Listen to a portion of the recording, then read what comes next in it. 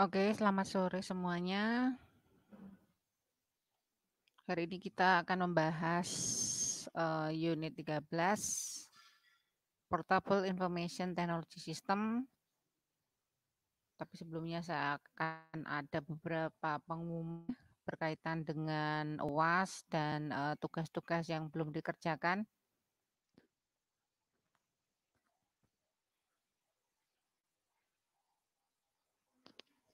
Ya, saya akan menunggu dulu mahasiswa yang login karena ini belum ada yang login sama sekali, masih kosong.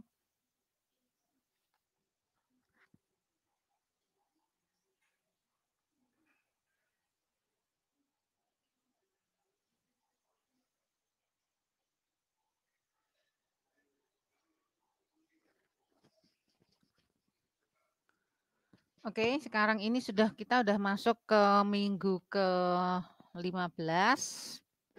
Minggu depan minggu ke eh sorry, ke-14 ya. Ke-14 minggu depan minggu ke-15. Kemudian setelah itu minggu tenang, setelah itu ujian. Jadi kita nanti ujiannya untuk kelas TIS itu bulan Agustus ya, tanggal 3. Agustus tanggal 3. Ya, karena dulu pernah mundur satu minggu ya, pas bulan Juni. Sehingga otomatis uh, semua mundur satu minggu. Oke, silakan ayo login dulu ke Siakat supaya kita segera bisa memulai perkuliahan hari ini. Kemudian saya juga mau informasikan.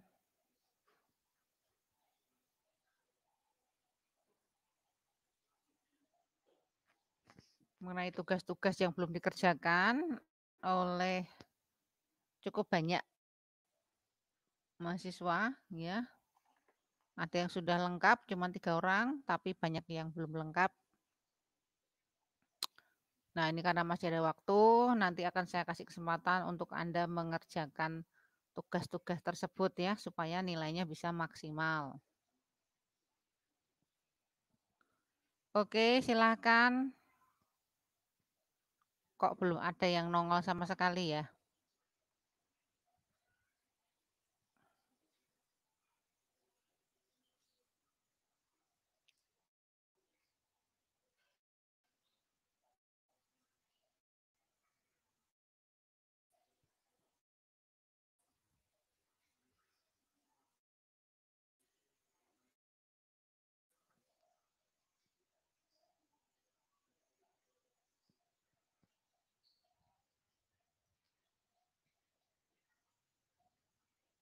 Oke ya, Billy sudah masuk. Terima kasih nih. Ya, jadi Billy, kamu yang belum kamu kerja. Nah, ini harapannya tadi sudah saya upload di sudah saya ketik di grup WA ya, siapa-siapa saja yang masih belum mengerjakan uh, tugas-tugasnya, ada banyak sekali sudah saya rinci nama dan unit-unit yang belum dikerjakan. Uh, jadi mulai hari ini nanti akan saya buka lagi tugas-tugas itu.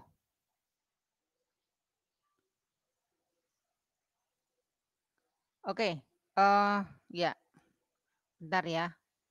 Saya akan menjelaskan untuk semuanya. Oke ya, Billy sudah masuk. Sebentar. Billy sama Rido Pari. Jadi nanti gini, uh, Google Classroom-nya akan saya buka lagi. Semua tugas mulai dari unit 8 sampai yang terakhir ini ya, unit uh, eh, 13 nanti. Jadi uh, Anda nanti mengerjakannya dari Google Classroom saja ya, tidak dari WA. Sebenarnya kalau di grup WA juga sudah ada, tapi um, atau nanti juga saya upload di grup WA juga nggak apa-apa semua ya. Tapi kan nanti Anda ngirimkannya di Google Classroom, otomatis nanti Google Classroom akan saya buka lagi. Mulai nanti malam ya. Supaya nanti bisa uh, dikerjakan ulang ya yang belum mengerjakan. Jadi itu banyak cukup banyak ya yang belum mengerjakan. Karena nanti kalau banyak sekali yang nggak mengerjakan, nanti persentase nilai dari tugas nggak ada. Ataupun kalau ada cuma sedikit ya. Kan eman-eman. Karena ini udah mau uas ya, nanti nggak ada waktu lagi untuk mengerjakan. Jadi nanti uh, saya akan buka lagi semua unit-unit dari unit 8 sampai 12. Ya. Supaya nanti bisa dikerjakan lagi. Khusus untuk yang kurang-kurang saja ya. Jadi kayak Mas Rido ini yang belum dikerjakan dua unit ya, 8 dan 9. Kemudian Billy itu unit berapa Billy? 9 10 ya. Oke, jadi nanti mungkin unit 8 sampai 12 saya akan upload ulang di grup WA.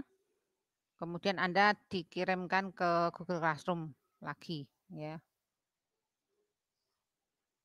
Seperti itu. Oke, ini baru dua orang yang nongol nih ya, sudah enam menit. Ya, kita akan tunggu beberapa menit lagi supaya ada beberapa lagi yang masuk. Ini kok dengerin belum pada nongol semua. Ya, saya akan kasih waktu dua menit lagi. Ya, jadi intinya nanti tugasnya akan eh, saya kasih kesempatan ya untuk yang mereka-mereka yang belum melengkapi tugasnya. Mulai hari ini sampai hari Jumat besok ya. Silakan dilengkapi untuk yang belum dikerjakan saja. Ya, kecuali yang memang semua belum dikerjakan ya. Itu kayak temen Mugifal itu masih blong. Blong terus apa lagi itu yang blong itu. Mupet juga blong terus ya masih blong semua itu.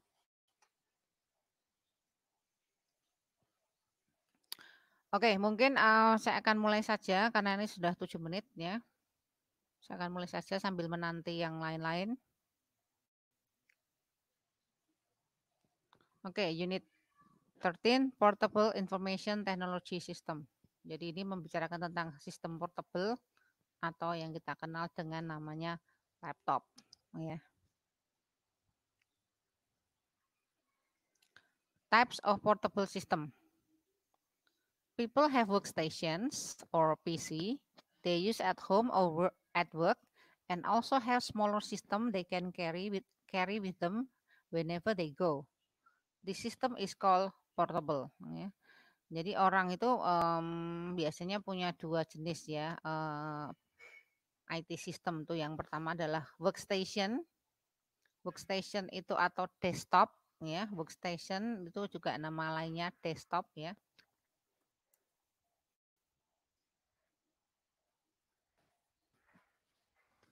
Uh, atau PC ya. Jadi workstation, desktop, OPC itu sama. Jadi ini adalah uh, komputer yang ditaruh di meja ya. Jadi ini komputer kerja yang ditaruh di meja. They use at home or at work ya. Biasanya di kantor atau di rumah atau di sekolahan ya. Jadi pokoknya dia tidak bisa dibawa-bawa ke sana sini. Itu disebut workstation atau desktop ya. Atau PC. And also have smaller system. Dan mereka juga punya yang lebih kecil. They can carry with them whenever they go. Ya, dan mereka punya yang lebih kecil dan lebih ringan yang bisa dibawa ke mana-mana. The system is called portable. Ya, ini yang disebut dengan portable. Jadi portable itu artinya apa toh? Artinya bisa dibawa ke mana-mana itu ya, yang namanya portable. Ya, ini disebut portable.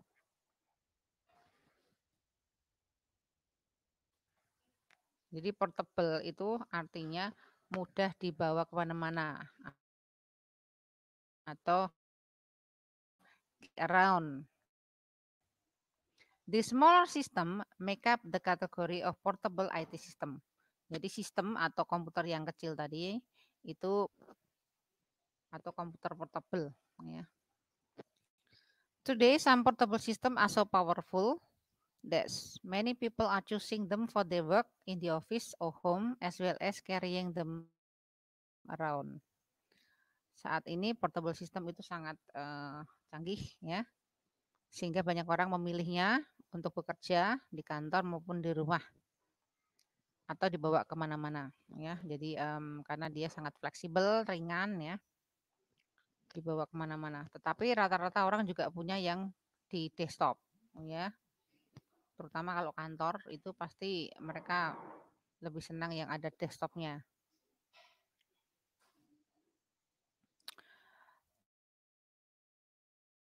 Types of portable IT system include notebook. Ada tiga jenis uh, portable IT system ya. Yang pertama itu notebook atau laptop, sub notebook itu di bawahnya atau apa namanya? Hmm, lupa saya ya. Notebook, sub notebook dan personal digital assistant. Now, let's let's uh, look first at notebook and personal digital assistant and then we will explore the best of both worlds. The sub notebook. Ya, mari kita lihat pada notebook, kemudian personal digital assistant, kemudian kita baru akan mengeksplorasi Eh, kebaikan dari keduanya yaitu yang ada pada sub notebook. Oke, sebelum kita lanjut saya mau cek dulu yang sudah hadir. Oh, belum tambah ya, masih dua orang. Oke, no problem. Notebooks ya atau laptop. Notebooks are the most common uh, type of portable IT system. The term notebook was coined in the early 1990s when portable systems were designed so small that they resemble the size of a notebook, about 2 inches high or about 5 centimeters and 8.5 inches deep or 21.59 centimeters. Jadi istilah notebook itu ya, ketika sistem portable atau komputer portable itu didesain begitu kecil ya sehingga mirip ukuran uh, buku catatan ya buku catatan yang tebel itu loh ya jadi buku buku catatan bukan buku tulis yang kecil itu ya tapi kayak buku apa ya buku untuk kantor itu loh catatan kantor itu kan agak tebal itu ya nah di sini uh, ukurannya lebarnya 27 ya, jadi selebar penggaris itu ya, penggaris yang panjang itu. Kemudian uh, tingginya mungkin ya, ini tingginya 21 kemudian tebelnya 5 cm ya, tebelnya 5 cm. Nah, kamu bisa membayangkan 5 cm ya tebel lumayan tebel ya 5 cm kemudian panjangnya 27 lebarnya 21 jadi eh, segede penggaris itu ya penggaris. Nah nah ini pun sekarang sudah terdianggap agak berat ya. Jadi dulu pertama kali laptopnya itu kan cukup berat ya dan besar. Dulu kan laptopnya besar-besar dan berat ya. Nah tidak bisa dibayangkan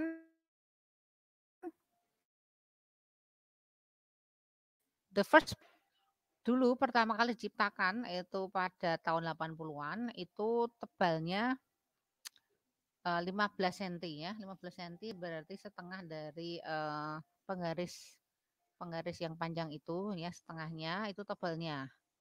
Kemudian uh, panjangnya 60 cm, 1 1 meter. Lebarnya 38 cm, lebih panjang dari penggaris dan tebalnya 15 ya. Jadi mungkin mirip kayak um, CPU ya, seperti CPU itu mungkin.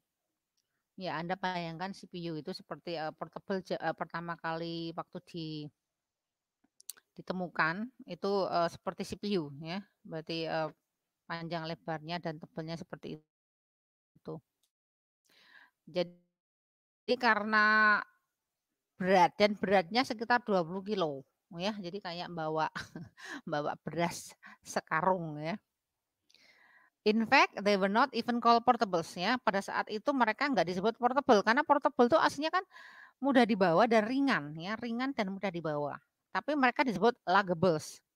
Luggables itu dari kata luggage dan portable. Lug, uh, ini paket ya, paket kotak ya atau um, kalau Anda bepergian ya, itu kan bawa koper, bawa uh, apa nih? tas baju. Nah, tas baju itu pakai koper baju itu ya. Nah, itu kan yang segede itu tuh ke sana ke sini. Bayangkan kalau Anda bawa laptop ke sana ke sini segede itu, setebal itu dan seberat itu ya. Jadi itu diumpamakan Anda itu bawa koper ke sana ke sini gitu ya. Maka tidak portable tapi luggables gitu ya. Gabungan dari luggage dan portable. Notebook system basically carry around ya. Jadi sistem notebook itu itu pada dasarnya carry around atau dibawa ke mana-mana, ya. Kemudian battery power system atau uh, dia mempunyai dua uh, apa namanya daya ya dari listrik dan uh, baterai ya. And offer you all the capabilities of workstation but to a lesser degree. Fitur fitur yang hampir sama dengan PC tetapi sedikit di bawahnya ya. Untuk lesser degree itu sedikit di bawahnya.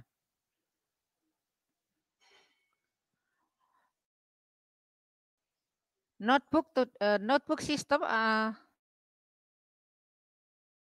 sorry.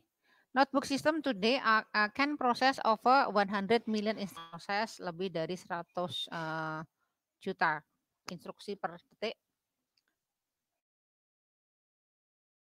and they offer other capabilities such as 1 billion bytes of disk storage, fax, color monitor, and multimedia. Notebook system are excellent tools for you if you demand portability. Dan mereka juga uh, mempunyai kemampuan uh, seperti penyimpanannya satu miliar ya, jadi satu giga. Kemudian fax, notebook system adalah merupakan alat atau perangkat yang cocok bagi Anda jika Anda itu uh, orangnya selalu bergerak ya. Portability itu mempunyai uh, mobilitasnya tinggi ya itu namanya portability. Oke, okay, nah itu adalah tentang notebook. Sekarang ke PDA atau Personal Digital Assistance. Cek dulu yang sudah hadir. Oke, okay, udah ada tambahan 6, Kairul 6, sama Latif Fida sama Ali Budi. Oke. Ya, terima kasih untuk yang sudah hadir.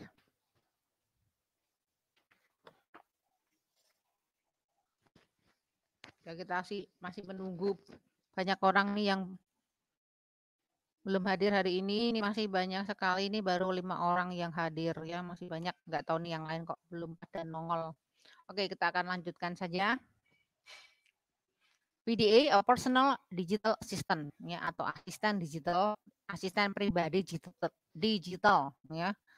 Jadi ini seperti kayak Anda punya sekretaris pribadi, tapi bentuknya digital ya. Jadi um, ini sangat free ya. Personal Digital Assistants (OPDAs) are portable IT systems designed mostly for personal information management. Ya, jadi PDA adalah uh, eh, IT system portable yang didesain uh, sebagian besar untuk manajemen informasi pribadi. Ya, jadi ini memang memang dia untuk uh, apa ya yang bikin acara mengingatkan Anda akan acara kalau Anda tuh orang yang super sibuk, mobilitasnya tinggi, ya. Nah ini uh, ini sangat perlu bagi Anda karena PDA ini akan mengingatkan Anda mengenai schedule schedule yang harus Anda lakukan. Software help you manage information concerning contact, schedule, task, and finance. Ya, softwarenya namanya PIMS Di sini uh, memanage informasi yang berkaitan dengan kontak atau nomor telepon, schedule, jadwal-jadwal, tugas dan finance atau uh, keuangan ya, masalah keuangan. PDA typically weighs only 2 pounds and can fit easily into a coat pocket or briefcase. Some PDA today do offer you the ability to do limited note-taking, document manipulation, word processing, and spreadsheet work, but not tasks like presentation graphic. PDA itu beratnya sekitar 1 kilo ya dan bisa masuk ke kantong nah, atau ke koper ya koper koper dokumen ya. Some PDA today offer you the ability to do limited note taking. Ya, dia bisa untuk uh, steno. Kemudian untuk uh, proses data ya. Baik Word maupun Excel ya and spreadsheet work ini Excel ya. Tapi tidak bisa untuk uh, presentation grafik ya. Jadi untuk membuat gambar ya, dia nggak bisa. Oke, itu adalah PDA. Nah, sekarang sub notebook. Nah, sub notebook itu mungkin kalau sekarang namanya netbook ya. Sub, notebook combine many of the rich capability of notebooks with the small size and portability of PDAs. Jadi sub notebook itu sebetulnya adalah kombinasi dari notebook yang agak tebal tadi ya dengan PDA. VDA kan kecil ya lebih kecil dari uh, dari uh, notebook ya uh, tetapi kemampuannya tidak seperti notebook. Nah, sekarang sub notebook itu di tengah-tengahnya, ya. Jadi di tengahnya dia, dia mempunyai kemampuan seperti notebook, tetapi ukurannya sekecil PDA, maksudnya seperti itu ya. Sub notebooks do support color screens fax transmission and about 8 million characters of storage. Subnotebook itu uh, disupport dengan uh, layar berwarna, fax, dan uh, penyimpanan ya. Di storage penyimpanannya sekitar 800 juta karakter. Subnotebook is also smaller than notebooks but larger than PDA. Subnotebook itu lebih kecil dari notebook tetapi lebih besar dari PDA. Ya, PDA itu ya kayak handphone ya. The average sub notebook is uh, 1.5 inch high, satu setengah senti, eh satu setengah inch, satu setengah inch itu berarti hmm, sekitar 4 senti, ya. Um, kemudian lebarnya 10 inci, 10 inci itu sekitar eh 10 inci itu sekitar 10 inci itu sekitar 25 cm. Kemudian panjangnya tujuh setengah inci. Tujuh setengah inci itu 18, 18, 17 ya. Ya, jadi seperti uh, laptop kita sekarang ini ya. Sub notebook also weighs only about 2 pounds ya. Uh, beratnya sekitar 2 kilo. Nah, saya kira ini seperti notebook yang sekarang kita punya ya. The differences between notebook, sub notebook are becoming less obvious. Perbedaan antara notebook dengan sub notebook itu semakin tidak kelihatan ya. Notebooks are becoming increasingly smaller while sub notebook are gaining every day in power and function. Ya, jadi notebook itu semakin sekarang semakin kecil, sedangkan sub notebook sekarang semakin mempunyai uh, kemampuan yang hampir sama dengan notebook. Ya, mungkin sekarang ini sudah jadi uh, notebook yang kita pakai ini ya. Ini adalah gabungan dari notebook dan sub notebook ya. Jadi semakin kecil, semakin ringan tetapi kemampuannya setara dengan notebook. Seperti itu. Oke ya, ada yang masuk lagi, uh, Alif Rahman, Mas Alif dengan Giga.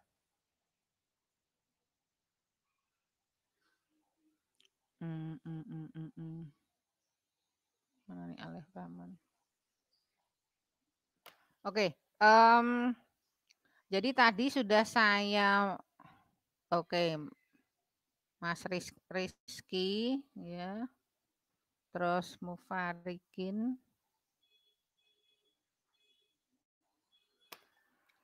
Oke ya, sebelum saya lupa. Um, jadi tadi di semua tolong nanti ngelihat ke ke grup WA ya. Itu sudah saya tuliskan. Siapa-siapa saja yang belum melengkapi tugasnya ya, yaitu yaitu uh, mengerjakan unit-unit ya. Nah, itu saya akan bacakan lagi ya. Koril Anam udah masuk belum nih tadi? Udah ya, Anam ya. Oke. Koril Anam ini belum mengerjakan sama sekali. Kamu belum mengerjakan unit 8 sampai 12. Diva ini enggak pernah masuk ya. Ini 9 12 Giga unit 10 Gival unit 8 12 uh, Iqbal unit 10 eh 8 Iqbal belum masuk ya. Kemudian Mufariken unit 10, Mupit 8 sampai 12. Ridho Pari 89, Rizky 8 sampai 12.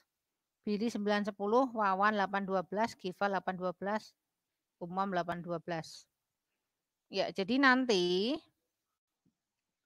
uh, akan saya upload lagi unit 8 sampai 12 di uh, di grup WA. Kemudian di Google Classroom juga akan saya buka lagi sampai hari Jumat tanggal 17 saya akan kasih kesempatan kepada Anda-Anda yang masih mau melengkapi uh, nilai tugasnya ya.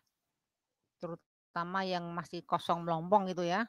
Itu yang masih kosong melompong itu tadi um, Wawan, Gival, Rizky, Mupit, Gival, Anam ini ya masih kosong melompong itu berarti tidak ada tugas yang dikerjakan satupun ya.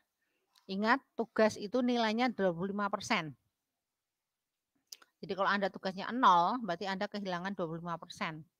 Nilai Anda cuma tinggal 75% saja ya. 75% itu asumsinya kalau semua nilainya bagus. Nah, kalau nilainya ada yang nggak bagus berarti di bawah 75%. Berarti Anda nggak bisa dapat B, apalagi A. Ya paling-paling C atau D, ya kan? Nah, kalau Anda masih mau kemarin UASnya eh UTS-nya rata-rata sudah bagus ya. Jadi rugi sekali kalau Anda tidak dapat nilai dari tugas ya yang mestinya bisa Anda kerjakan. Jadi saya akan memberi kesempatan Anda minggu ini untuk Anda mengerjakan tugas-tugas yang belum Anda kerjakan selama ini ya. Jadi nanti tugasnya dari uh, minggu ini kan unit 13 ya, tapi saya akan kasih kesempatan dari mulai unit 8 ya setelah UTS. Unit 8 sampai uh, 12 untuk yang minggu dari mulai minggu-minggu kemarin ya yang belum belum dikerjakan. Oke. Itu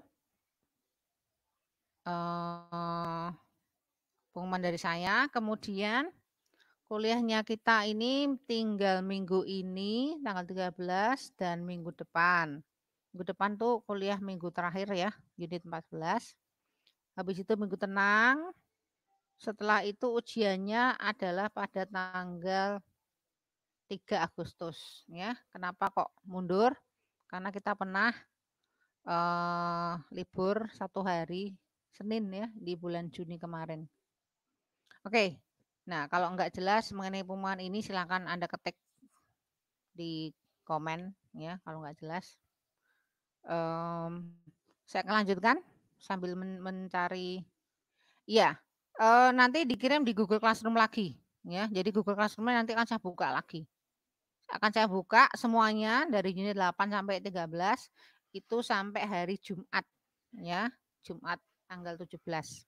Memberi kesempatan Anda untuk membuat uh, tugas ya dari yang kemarin-kemarin belum dikerjakan. Kalau yang udah dikerjakan ya sudah. Berarti kalau udah dikerjakan semua kan tinggal unit 13 saja. ya. Kalau semua yang yang apa namanya? Ini saya mau berkesempatan masih yang bolos-bolos yang kemarin tidak mengerjakan. Oke, saya akan lanjutkan. Nah, ini sekarang vocabulary-nya. Powerful, canggih, koin itu mencipta. Ya. Luggables itu dari kata luggage dan portable. Barang bawaan. ya Di sini barang bawaan yang berat maksudnya ya. Spreadsheet work, tampilan yang menyebar seperti Excel. Ya. Oke. Nah, sekarang uh, ini adalah homeworknya untuk unit 13. ya. Reading comprehension question. Why are notebook, PDAs, and sub notebook called portable system? Um, ya ini silakan nanti Anda dibaca di reading text ya.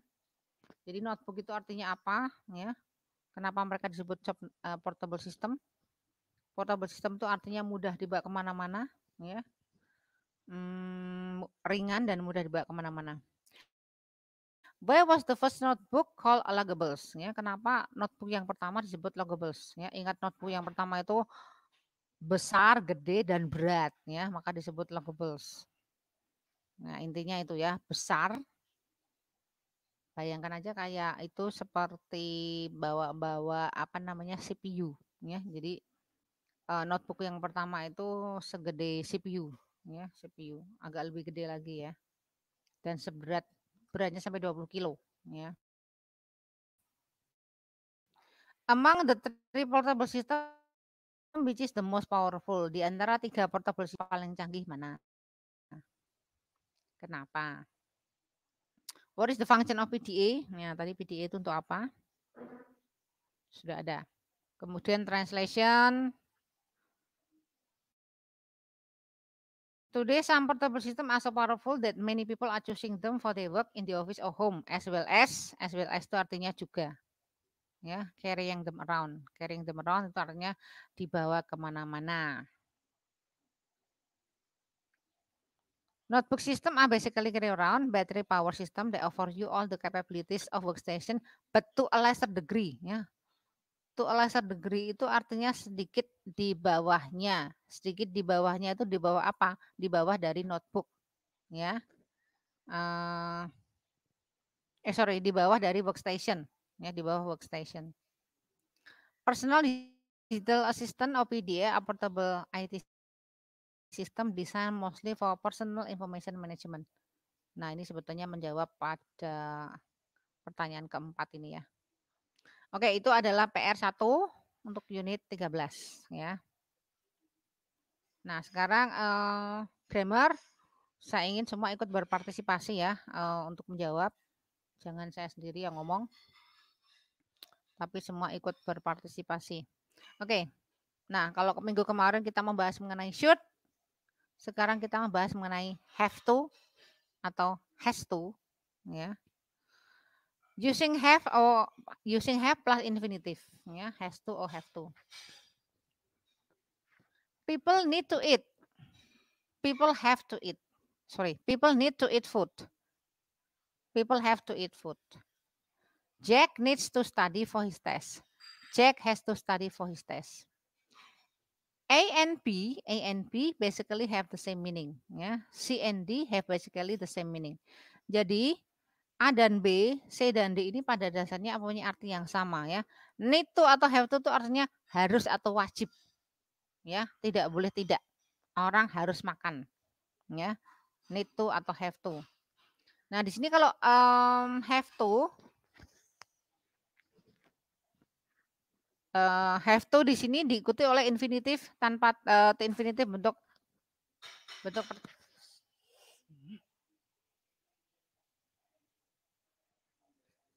yaitu kata kerja bentuk pertama ya. Jadi have sama has di sini artinya harus atau uh, wajib ya. Nah, bedanya apa dengan have to dengan has to? Nah, ini berurusan dengan uh, simple present ya. Jadi kalau have to ditambah s itu tidak menjadi has tapi menjadi has. Jadi has itu muncul karena have tambah s menjadi has ya. Itu. Kemudian bentuk lampau dari have to itu adalah had to. I had to study last night. Saya harus belajar tadi malam ya. Jadi ini menyatakan lampau berarti ini keterangan waktunya last night. Kalau have to sama has to itu present ya, bentuk present. Kemudian bentuk uh, pertanyaan. Do you have to leave now? What time does Jim have to leave? Nah, kalau uh, have to itu pakainya do, ya. Do you have to? Sedangkan kalau has itu pakainya does. What time does Jim have to? Kembali um, ke bentuk aslinya have to. Kemudian kalau had to, did-nya yang keluar. Why did they have to leave yesterday? Ya, jadi kalau pertanyaan ataupun negatif itu bentuk aslinya akan keluar. Yang bedanya kalau have to jadi pakainya do, has to jadinya does, had to pakainya did. Kemudian bentuk aslinya have to muncul lagi. Ya, seperti itu. Kemudian bentuk negatif, ya. Bentuk negatif uh, do, does, or did is used with have to in negative. Ya, jadi kalau bentuk negatif ya have to ya menjadi I don't have to. Terus we didn't have to.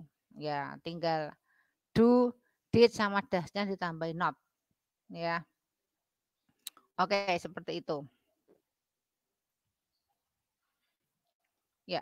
Nah, sekarang coba ya kita akan melengkapi ini bersama-sama. Complete the sentences. Use the words in parentheses. Use form of have or has plus infinitive and all the completion. Ini adalah bentuk percakapan ya antara dua orang A dan B. Nah, ini Anda harus menjawab dengan menggunakan has to, have to, kemudian bentuk tanya atau bentuk negatif. Nah, ini agak agak complicated ya.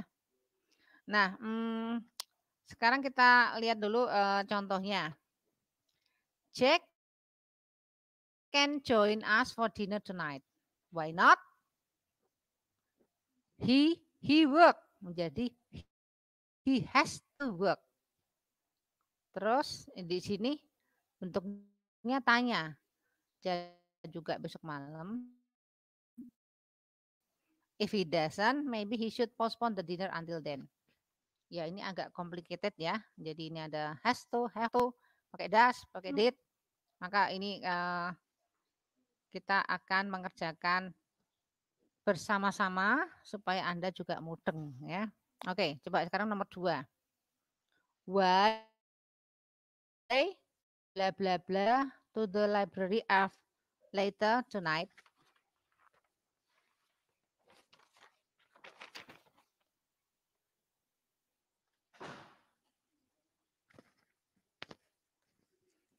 Why?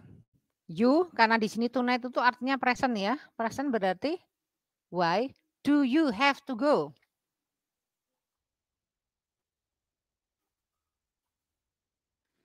Why do you have to go?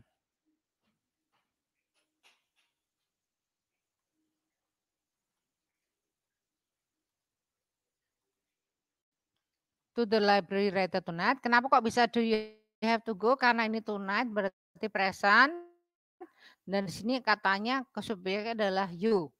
Ya, you itu mesti pakainya do ya. Kemudian I find ya, I berarti I have to find some information on my research paper.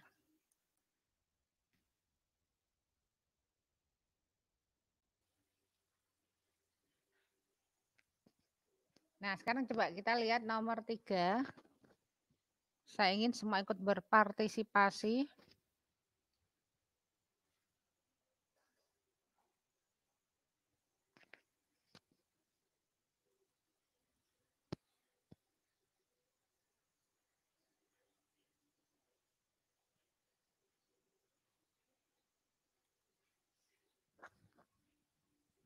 Oke ya, coba nomor tiga. It's almost 6.30. Eh, sorry. It's almost 4.30. What time Sue leave for the airport. Nah, ini karena nggak ada keterangan waktunya ini berarti asuhnya pasti present ya atau sekarang. Berarti gimana tuh kalimatnya? What time? Nomor tiga, siapa bisa?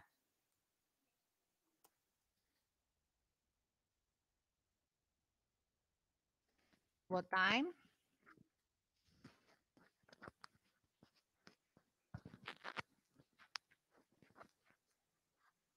What time? Ayo gimana? What time? What time does Sue have to leave for the airport?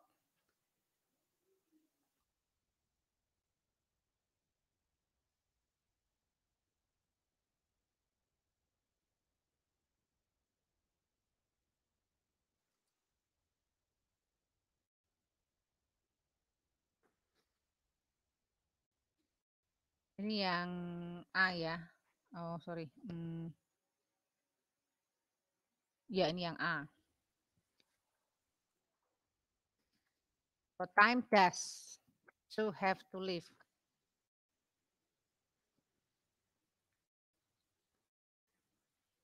Kemudian yang B.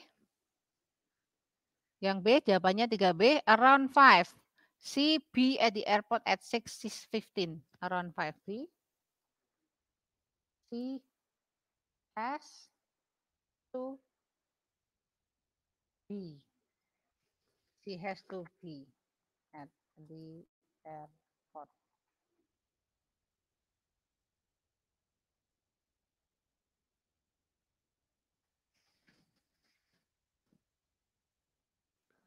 Ya, itu jawabannya untuk nomor tiga. Nah, saya ingin nomor 4, 5, 6 dikerjakan ya untuk uh, bagian dari PR. Karena ini agak sulit ya. Jadi ini uh, PR yang kedua. Nanti ditulis lagi semuanya. Nomor 1, 2, 3, 4, 5, 6 diisi semuanya ya. Karena di apa sekarang nggak ada yang respon ya. Saya ini semua ini dikerjakan lagi, dikerjakan ulang ya dari, dari uh, mulai nomor dua ya, tapi dua. Nomor satu sudah, nomor dua sampai ke bawah. Jadi dua dan tiga udah saya kerjakan. Ya, Diva, ini kamu PR-nya tidak banyak yang dikerjakan ya. Diva itu Ya, yang belum dikerjakan PR-nya unit 9 sampai 12.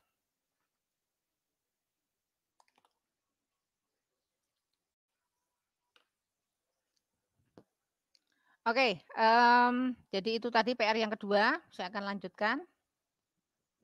Oh ya, Diva, tolong jangan bolos lagi ya. Ini dalam minggu-minggu terakhir sebelum uh, apa namanya sebelum ujian akhir tolong uh, jangan membolosnya karena kamu membolosnya sudah cukup banyak.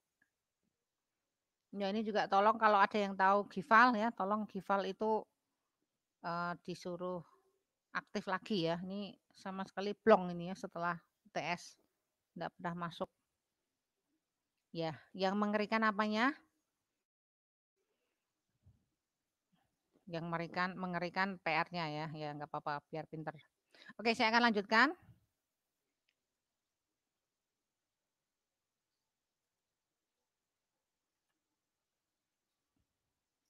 Nah, sekarang kata mas ya. Mas itu artinya juga sama dengan have to ya. Cuman kalau have to itu ada bentuk present, ada bentuk past. Kalau mas itu selalu dalam present ya, tidak bisa dilampaukan. Ya, jadi kalau have to, has to, had to ya, itu ada bentuk present dan past. Sedangkan kalau mas itu bentuknya cuma satu. People need food. People have to eat food ya. Orang butuh makan, orang harus makan. People need food, people must eat food. A and B have the same meaning. Must eat is the same as have to eat. Ya, must eat dengan have to eat itu sama. Nah, cuman berbedanya apa? A, you, we, they, he, she, it itu tambah must plus verb. Semua, tidak ada tambah s, tidak ada tambah ed ya. Jadi emas itu cuma diikuti oleh kata kerja bentuk pertama dan mas selalu dalam bentuk present, tidak bisa dilampaukan ya. tidak bisa dilampaukan. Jadi kita nggak boleh bilang he must works, he must to work atau he must worked pakai ed misalnya gitu ya, nggak boleh. Must itu selalu dalam present dan diikuti kata kerja bentuk pertama tanpa tambahan apa-apa. Ya. Okay, let's see the example. You must not be late for work if you want to keep your job. Kamu tidak boleh datang terlambat uh, di tempat kerja jika kamu ingin me, uh, ingin tetap bekerja, maunya gitu ya. Must not, ya, must tambah not itu artinya dilarang.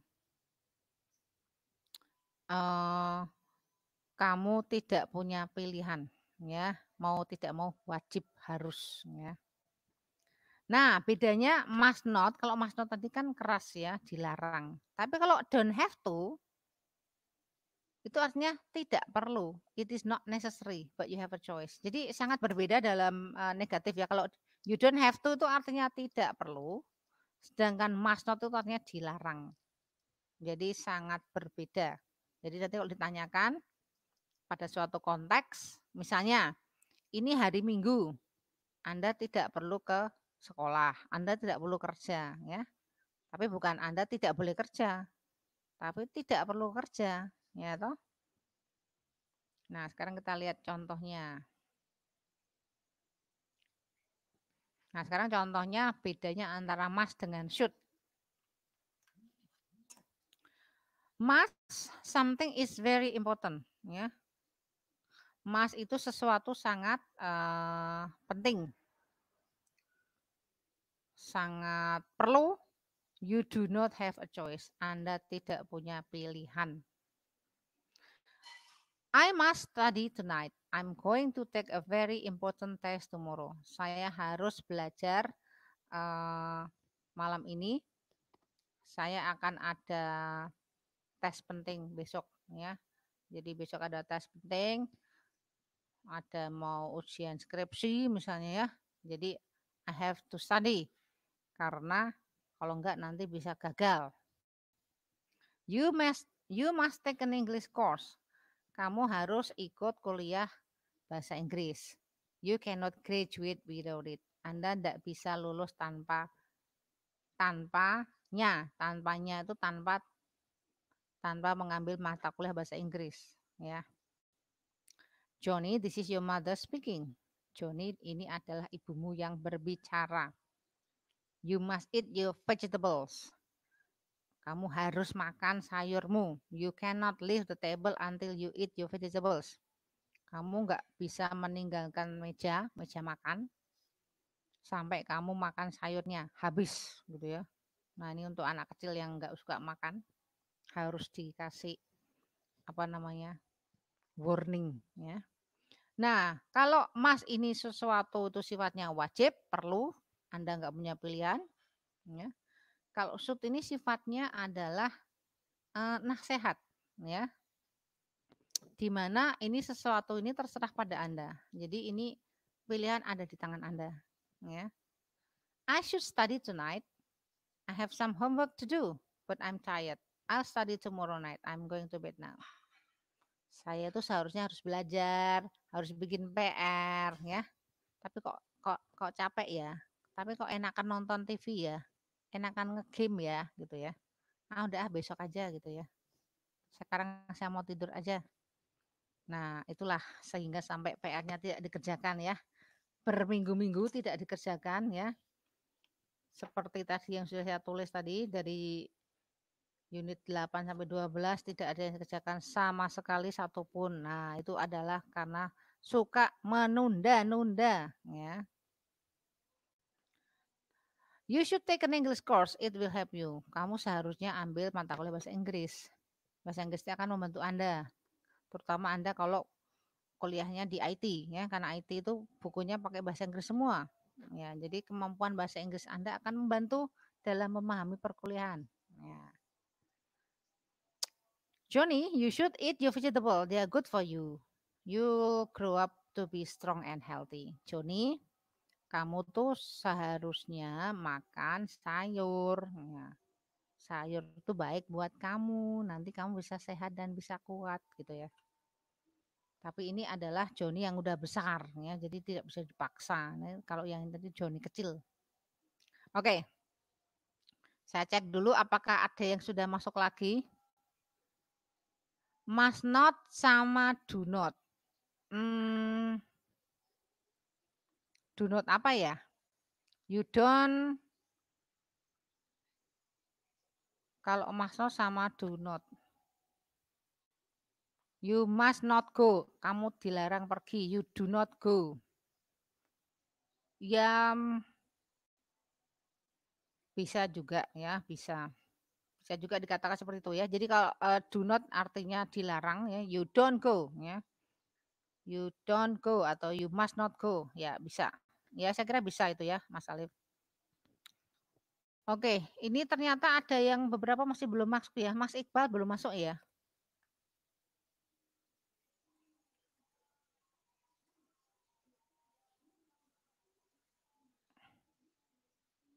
Ya, pas Iqbal sama Wawan ya. Wawan juga belum masuk. Mupit. Oke, nah sekarang saya lanjutkan ke exercise-nya.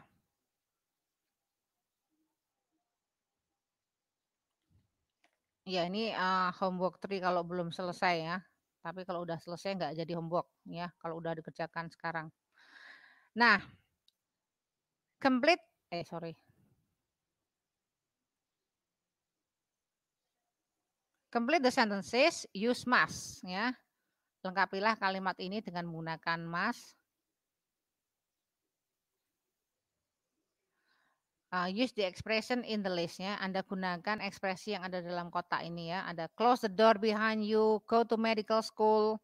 Go to medical school itu um, kuliah di uh, kedokteran have a driver's license mempunyai uh, SIM, have a library card mempunyai kartu perpustakaan, have a passport, listen to the English on radio and TV, make new friends who speak English, pay an income tax, read English newspaper and magazine, speak English outside the class every day, stop, study harder, talk to myself in English, take one pill every six hours, artinya minum satu pil setiap enam jam. Ya, ini untuk apa resep dokter ya. Oke, nah sekarang mari kita kerjakan bersama-sama. Bentar, ini tak gedein aja.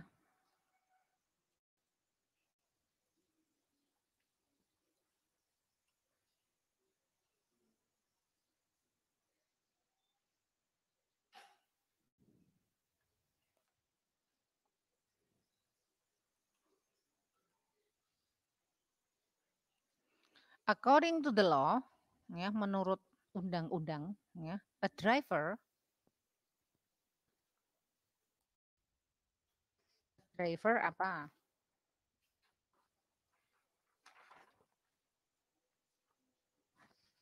A driver tuh harus apa? Nomor satu. Mas apa? Ayo.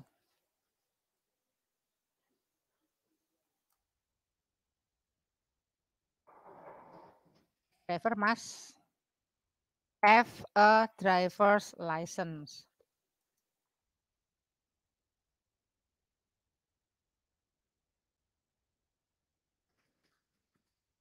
Ayo sekarang nomor dua. Mari berpartisipasi ya. Nomor dua. If a traffic is red, if a traffic light is red, car, mas apa? Ini harusnya car pakai S ya. Cars, mas. Ayo dijawab. Pilihannya itu banyak. Silakan dicocokin. Car, mas.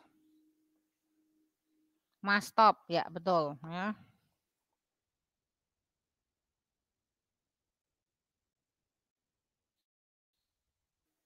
Sekarang nomor tiga. Ya, Gival akhirnya muncul ya. Ya, Gival, ini sudah minggu-minggu terakhir. Silakan Jangan bolos ya. Dan juga nanti silakan dikerjakan PR-nya. Kamu belum mengerjakan PR sama sekali dari unit 8 ya. Ini saya hitungnya unit setelah UTS ya. Kalau Anda mau menambah nilai silakan PR-nya dikerjakan ya. Oke, sekarang nomor tiga. If you want to check a book out of the library, you kalau Anda ingin pinjam buku dari perpustakaan, kamu harus apa? You Mas, kamu harus apa? Harus punya apa?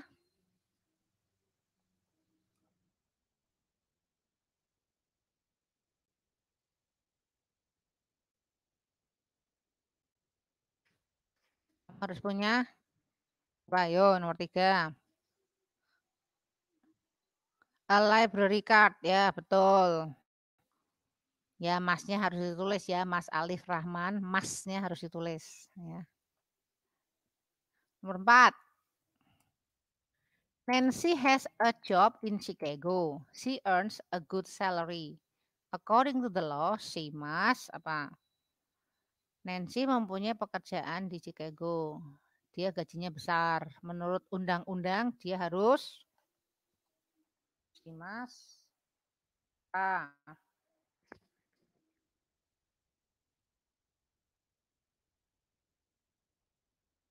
dia harus apa? Anybody, please?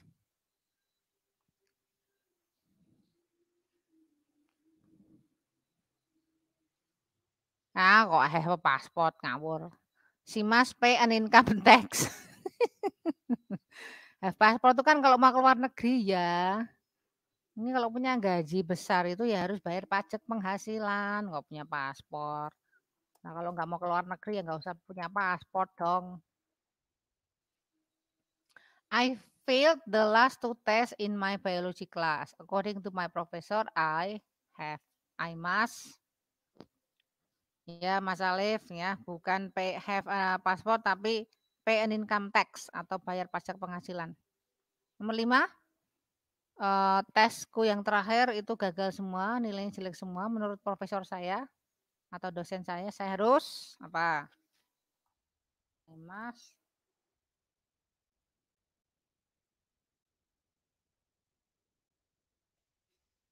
remedi.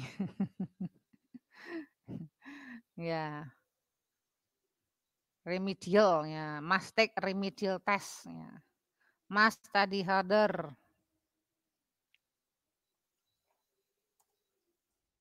Nomor 6.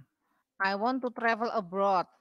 According to the law, I, saya ingin bepergian ke luar negeri. Menurut undang-undang saya harus punya apa? Nah, ini kalau ke luar negeri harus punya apa nih?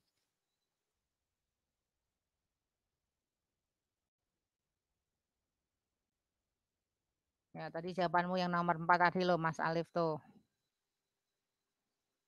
Mas, apa? Ayo, nomor 6.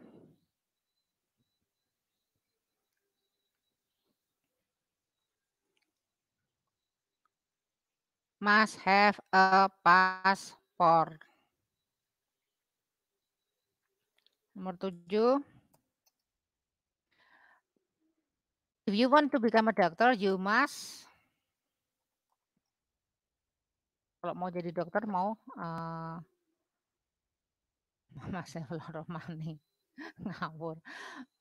Uh, you must go to medical school ya. Nomor tujuh you must go to medical school.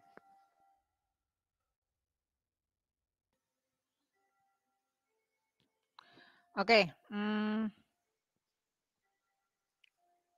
Ya, ini yang lainnya silakan dikerjakan. Ini mungkin Anda tulis ulang aja nih ya, homework 3 nih. Karena saya ingin ini semua nanti dikerjakan lagi ya. Ini ada masih ada tiga tadi yang belum kerjakan. Nanti ditulis ulang lagi. Kemudian PR yang selanjutnya adalah ini. Ini Anda tinggal milih pakainya must not, don't have to, atau doesn't have to. Ingat, must not itu punya arti dilarang. Kalau dan have to atau doesn't have to artinya tidak perlu. Jadi ini completely different meaning. Meaningnya sangat berbeda. Ya, jadi misalnya Nomor satu nih, tak kasih contoh. If you want to keep your job, jika kamu tetap ingin bekerja, kamu tidak boleh datang terlambat. Bukan tidak perlu, tapi tidak boleh. Ya. My office is close enough to the apartment for me to walk to work. So, I don't have to. Kantorku tuh sangat dekat dengan apartemenku, jadi saya nggak perlu naik bis. Ya, saya tidak perlu. I don't have to. Ya, oke. Okay? Silakan nanti PR-nya dikirim ke Google Classroom.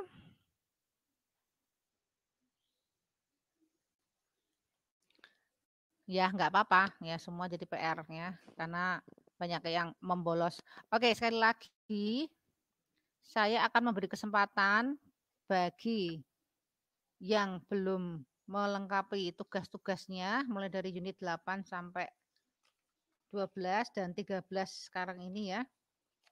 Nanti unit 8 sampai 12 akan saya upload lagi di grup WA. Kemudian eh, Tadi sudah saya list siapa-siapa saja yang belum uh, mengerjakan tugas-tugasnya dan unitnya sudah saya tulis semua. Terus uh, di Google Classroom dari mulai unit 8 saya akan buka lagi sehingga kalau Anda mau mengirimkan tugasnya akan bisa ya. Nah, tugas akan saya tunggu sampai hari Jumat tanggal 17 ya. Itu semua.